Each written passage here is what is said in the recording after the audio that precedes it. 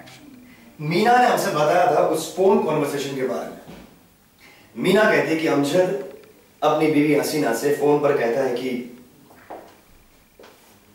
नफा मुआवजा, यानी संभाल एलिमनी अमजद फ़ोन पर अपनी बीवी हसीना से तलाक लेने की और एलिमनी देने की बात करता राइट यस सर सर उसने महीने के आखिर तक एलमिनी की पहली किश्त देने की बात कही थी। मतलब वो यहाँ से पैसे ट्रांसफ़र करने वाला था किसी तरह? करेक्ट अब ये हल्का सा आइडिया है कि अमजद ने अपनी गैर कानूनी दुकान किसी बिलाल कुरेशी के पास से 2011 में खरीदी होगी। तब से लेकर उसका धंधा